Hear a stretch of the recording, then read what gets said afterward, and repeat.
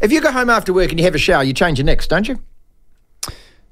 Well, Oh, here we go. No, no, no, Oh, here but we no, go. no, I'm no, no, no, no, no. Give need- me a chance. The problem with you young people uh, that I can't teach you hygiene.